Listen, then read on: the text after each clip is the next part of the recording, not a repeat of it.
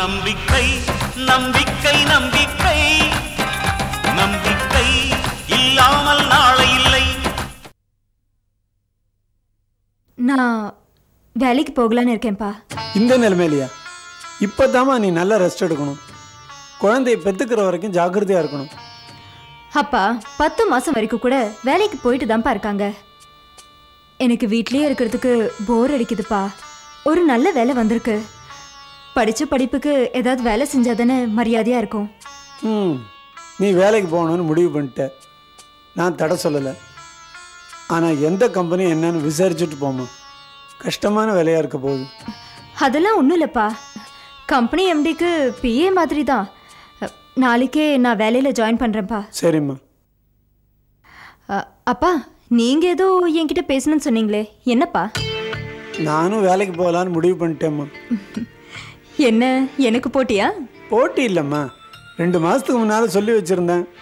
இப்போ அவங்க கூப்பிட்டு நாளைக்கே வந்து ஜாயின் பண்ணிக்கன்னு சொல்கிறாங்க நீயும் வேலைக்கு போயிட்டா பகலில் நான் இங்கே தனியாக இருப்பேன் போர் அடிக்குமேம்மா. சரி. என்ன வேலைப்பா? உட்காந்தே செய்கிற வேலை தாம்மா உட்காந்துட்டே செய்கிற வேலையா? ஆமாம்மா. அக்கௌண்ட்ஸ் எழுதுகிற வேலையாக இருக்கும். சரிப்பா நீங்கள் போய் பாருங்க. உங்களுக்கு வேலை பிடிச்சதுன்னா தொடர்ந்து பண்ணுங்க. இல்லைன்னா வேலையே வேண்டாம். பேசாமல் வந்துருங்கப்பா. சரிம்மா. நான் வேலைக்கு போகிறத பற்றி நீ ஒத்துக்கிட்டதே பெரிய விஷயம். மற்றதையெல்லாம் அப்புறம் பேசிக்கலாம்.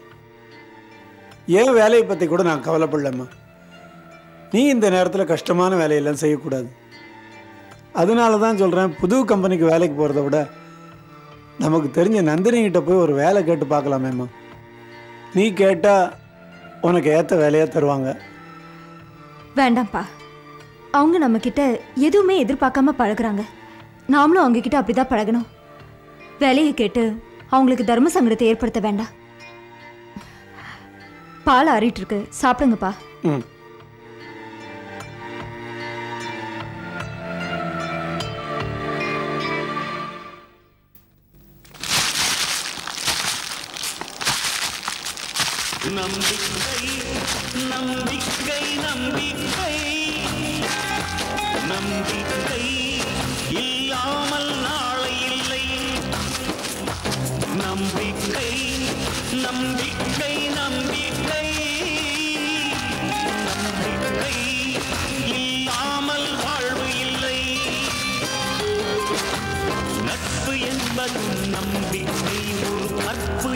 என்பதும் நம்பிக்கை முயற்சி என்பதும் நம்பிக்கை நாம் மூச்சு விடுவதும் நம்பிக்கை தலையை இழந்த அருகம் புல்லும் தளிர்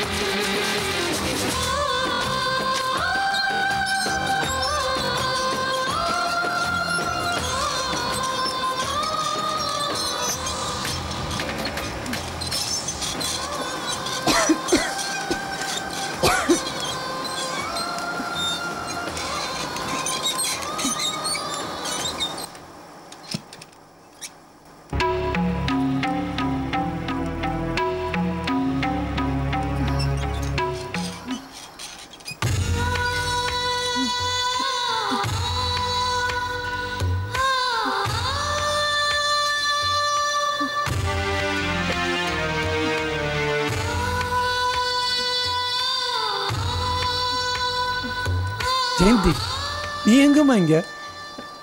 நான் வந்தது இருக்கட்டும்ப்பா நீங்க எப்படிப்பா இங்க?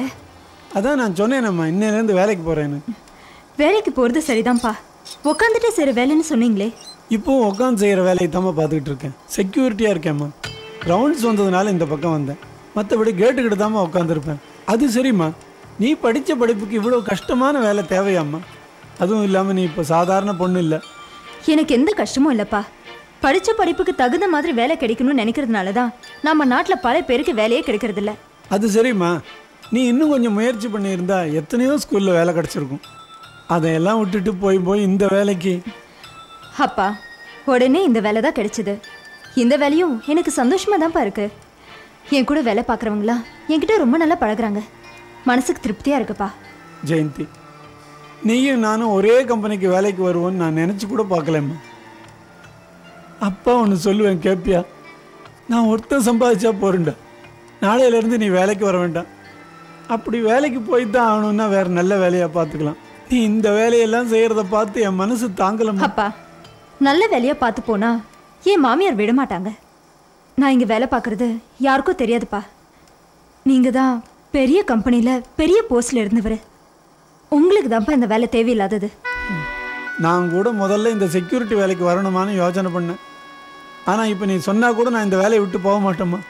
ஏன்பா? எனக்கு இந்த வேலை ரொம்ப பிடிச்சிருக்குமா ஏன்னா இந்த கம்பெனிக்கு மட்டும் செக்யூரிட்டி அல்லாமல் உனக்கும் பாதுகாப்பாக இருக்கலாம் பாரு. உன்னை பார்த்துக்கிட்டே இருப்பேம்மா. சரிப்பா. நீங்க வேலையை பாருங்க. நான் என் வேலையை முடிச்சுட்டு போகும்போது நான் உங்களை இருந்து பார்க்குறேன் ம்? சரி. ஜாக்கிரதையாக போடா கண்ணு. ம் சரிப்பா.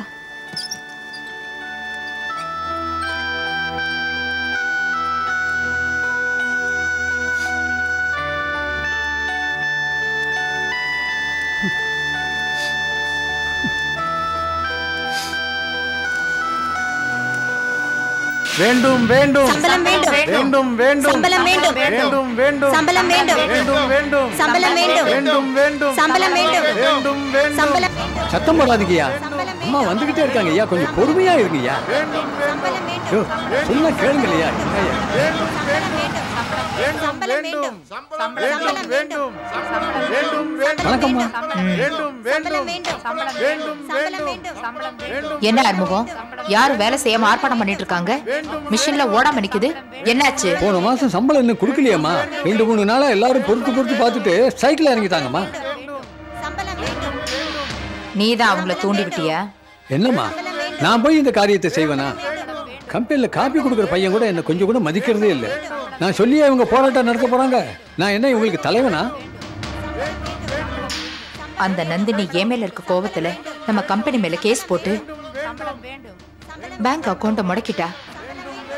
அதான் சம்பளம் கொடுக்க லேட் ஆயிடுச்சு. நம்ம கிட்ட வேலை செஞ்சவங்க கொஞ்சம் பொறுத்துக்க கூடாதா? இத்தனை வருஷமா அள்ளி அள்ளி கொடுக்கல? இவங்க எல்லாம் மாசம் மாசம் சம்பளத்தை வாங்கித்தானம்மா. அரிசியிலேருந்து பிள்ளைங்க ஸ்கூல் ஃபீஸ் வரைக்கும் எல்லாத்தையும் கவனிச்சுக்கிறாங்க. கரெக்டான நேரத்தில் இவங்களுக்கு கொடுக்கலையேன்னா வாழ்க்கை இவங்க எப்படிமா ஓட்டுவாங்க? அதுக்காக ஸ்ட்ரைக் பண்றதா? என் சோத்தை தின்னு வளர்ந்தவங்களுக்கு கொஞ்சம் கூட நன்றியே இல்லையா? நீங்க கோவப்படுறதுல அர்த்தமே இல்லைம்மா.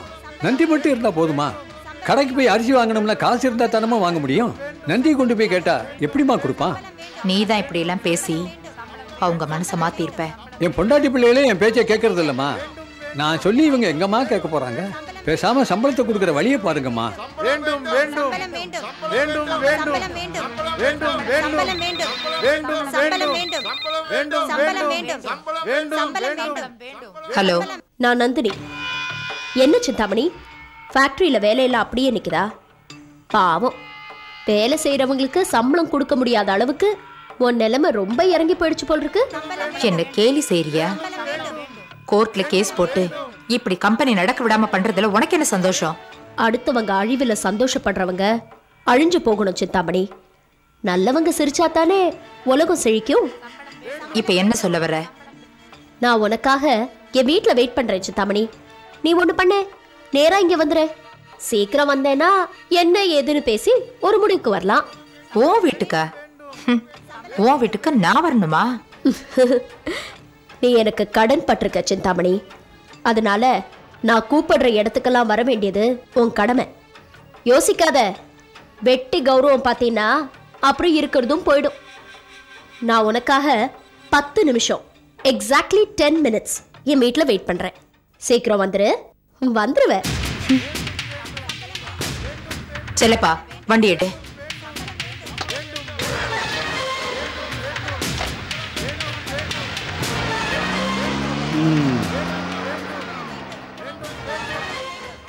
நந்தினி மேடம் சிந்தாமணியை ஒரு வழி பண்ணிட்டு தான் மாதிரி வேலை பார்ப்பாங்க போல் இருக்கு சிந்தாமணிக்கு இது தேவைதான்.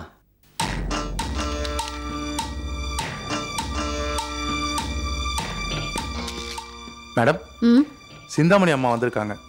வர சொல்லுங்க. Okay madam.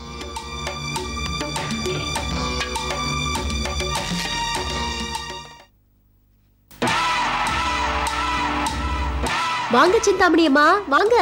உட்காருங்க.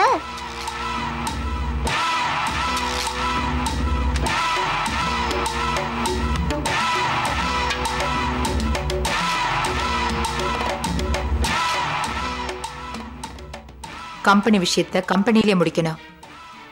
உன் வீட்டுக்கு வர வச்சு எதுக்காக என்ன கொடுமைப்படுத்துற? வாட் நான் உங்களை குடும்பப்படுத்துறேனா நல்ல கதையா இருக்க. எல்லா இடத்துலயும் மாமியார் தான் மருமகளை குடும்பப்படுத்துவாங்க சரி இந்த ஒரு இடத்துலயாவது மருமக மாமியாரை கொடுமைப்படுத்துறான்னு இருக்கட்டுமே.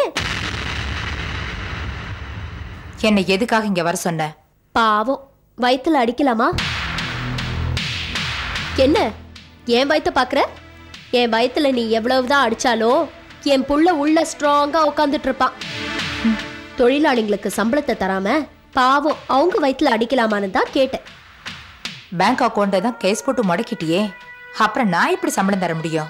அது மட்டும் இல்ல உன் சம்பந்தப்பட்ட எல்லாத்தையும் நான் முடக்க போறேன். பேசாம உன் கம்பெனி நீ எனக்கு எழுதி கொடுத்துறேன் சிந்தாமணி. மேற்கொண்டு எவ்வளவு பணம் உண்டோ அதை நான் கொடுத்துட்றேன். ஊர்ல தான் எத்தனை கம்பெனிகள் விலைக்கு வருதே. அதெல்லாம் போய் வாங்க வேண்டியதானே?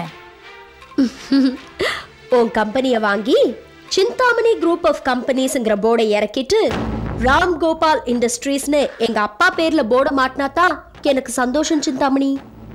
நிச்சயமா நீ நினைக்கிறது நடக்காது. ம்? அப்படியா? சிந்தாமணி ஏற்கனவே உன் மேல கோர்ட்ல ஒரு கேஸ் போட்டாச்சு. ஒண்ணு என்கிட்ட வாங்கின கடனை வட்டியும் முதலுமா திருப்பி கொடுக்கணும். இல்லனா உன் ஃபேக்டரியை என் பேர்ல எழுதி கொடுக்கணும்னு இன்னும் கொஞ்ச நாள்ல கோர்ட்லயே தீர்ப்பு சொல்ல போறாங்க.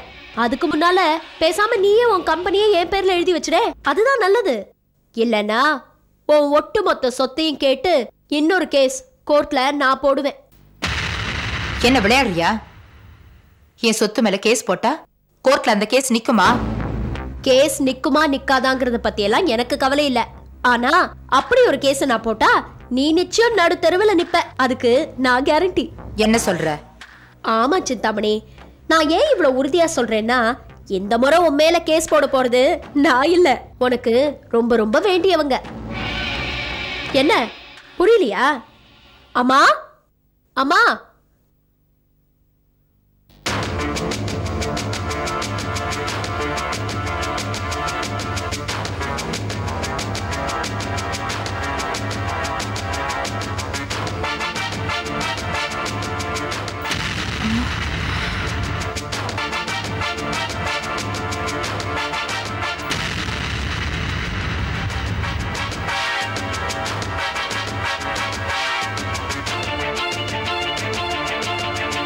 சிந்தாமணி. இன்னுமா புரியல? உன் மேல கோர்ட்ல கேஸ் போட போறது நான் இல்ல. இவங்க தான் நியாயப்படி சட்டப்படி தர்மப்படி உன் சொத்துல இவங்களுக்கு எல்லா உரிமையும் உண்டு. இன்னும் சொல்ல போனா உன்னை விட அதிகமான பங்கு இவங்களுக்கு தான் சேரணும். ஏன்னா இவங்க உனக்கு மூத்தவங்க. அவ எனக்கு மூத்தவளா இருக்கலாம் ஆனா அந்த சொத்துக்களை எல்லாம் நான் தான் பாதுகாத்தேன். ஆமாமா. திருடிட்டு போனவன் தான் திருடின பொருள் எல்லாம் தனக்கு தான் சொந்தம்னு நினைச்சு பத்திரமா பாதுகாத்து தான் வச்சிருப்பான்.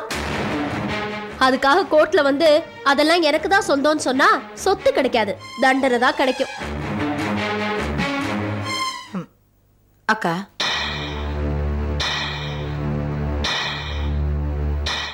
நீயும் நானும் ஒன்னா பிறந்தவங்க தான் நம்ம ரெண்டு பேரையும் வச்சு அந்த நந்தினி விளையாட பாக்குறா நீ ஏன் கூட வந்துரு? நான் உன்னை ராணி மாதிரி வச்சு காப்பாத்துறேன். ம்? ராணி மாதிரி வச்சு காப்பாத்துறியா. இருபது வருஷமா? எங்க போச்சு இந்த பாசம்? நல்லா இருந்த என்ன? பைத்தியக்காரியா மாத்தி இரும்பு கூட்டுக்குள்ள வச்சு பூட்டி இருந்தியே அப்ப இந்த பாசம் உனக்கு எங்க போயிருந்தது? கத்தியோட வந்தவனை கையெடுத்து கும்பிடுற மாதிரி நந்தினி மேல உள்ள பயத்தினால வந்த பாசம் தானே இது? அக்கா ஆயிரம் தான் இருந்தாலும் நீ நானும் கூட பிறந்தவங்க. அத மறந்துடாத கூட பிறந்தே கொல்லும் வியாதின்னு சொல்லுவாங்களே அது நீதான். நம்ம உடம்புக்குள்ள வர வியாதிய வெளியில இருந்து வர மருந்து தீர்த்து வைக்கிற மாதிரி எனக்கு நீ செய்த கொடுமைகளுக்கெல்லாம் இந்த நந்தினி தான் மாமருந்தா இருக்கா? தப்பு பண்ணவங்க தப்பிக்க முடியாது சிந்தாமணி. ஒரு இடத்துல தப்பு பண்ணாலும் இன்னொரு இடத்துல கண்டிப்பா மாட்டிப்பாங்க. இந்த விசாலத்துக்கிட்ட நீ தப்பிச்சுக்கிட்ட நந்தினி கிட்ட நீ நல்லா மாட்டிக்கிட்ட. ஆ சரி சரி. உன்ன மாதிரி ஒன்றும் நாங்கள் வேலை இல்லாதவங்க இல்லை. கூடிய சீக்கிரம் ஒரு முடிவு பண்ணி ஃபேக்ட்ரியை எங்கள் பேரில் எழுதி கொடுக்குற வழியை பாரு. இல்லைனா அப்புறம் கோர்ட் படி ஏறி பதில் சொல்ல வேண்டி வரும். ஆ உன் புள்ள வசந்தையும் கோர்ட்டில் ஆஜர்படுத்த சொல்லுவேன். அவர்கிட்டயும் கொஞ்சம் சொல்லி வை. அப்படியா? கூடிய சீக்கிரம். இதுக்கு ஒரு வழி பண்ணுறேன்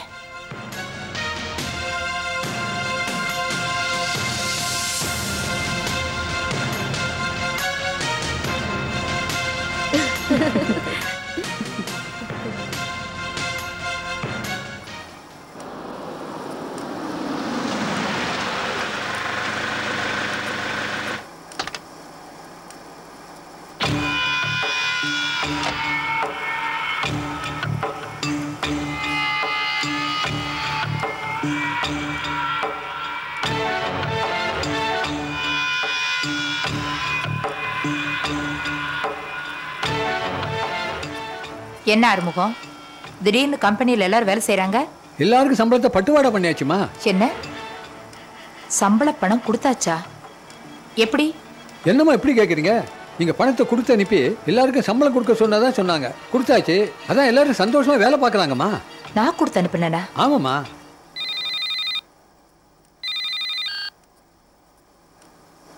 ஹலோ. என்ன சித்தாமணி? மெஷின்லாம் ஓடுது போல் இருக்கு. அதான் செல்போன்லயே கேக்குது. ஏன் இப்படி என்ன பழி வாங்குற மாதிரி நடந்துக்கிற? நான் எதுக்காக உன்னை பழி வாங்க போறேன்? அப்படி பழி வாங்கணும்னு நினைச்சிருந்தா ஒரேடியா உன் ஃபேக்டரியை இழுத்து மூடணும்ல பிளான் போட்டிருப்பேன். பாவம் உன் ஃபேக்டரியில வேலை நிக்க கூடாதேன்னு ஒர்க்கர்ஸ்க்கெல்லாம் சம்பள பணத்தை நானே கொடுத்து அமிச்சிருக்கேன். என்ன போய் பழி வாங்க நினைக்கிறேன்னு சொல்றியே உனக்கே நியாயமா இருக்கா? என்ன? சம்பள பணத்தை நீ அனுப்புனியா? எதுக்காக அனுப்புன. எனக்கும் உனக்கும் இருக்கிற சண்டையில அந்த அப்பாவி தொழிலாளர்கள் பாதிக்கப்படக்கூடாது இல்லையா? அதுக்காகத்தான் நானே சம்பள பணத்தை கொடுத்தமிச்சேன் அது மட்டும் இல்லை எப்படியும் இன்னும் கொஞ்ச நாள்ல கம்பெனி என் கைக்கு வரப்போகுது. அப்போ போராட்டம் அது இதுன்னு மெஷின் எல்லாம் நின்று போயிட்டா அப்புறம் துரு பிடிச்சி போயிடும் இல்லையா? அதான் சம்பள பணத்தை நானே கொடுத்தமிச்சேன் அநேகமாக அநேகமா அடுத்த மாதத்துலேருந்து எல்லாருக்கும் சம்பளத்தை நான் தான் கொடுக்க போறேன் போல் இருக்கு. என்ன சித்தாமணி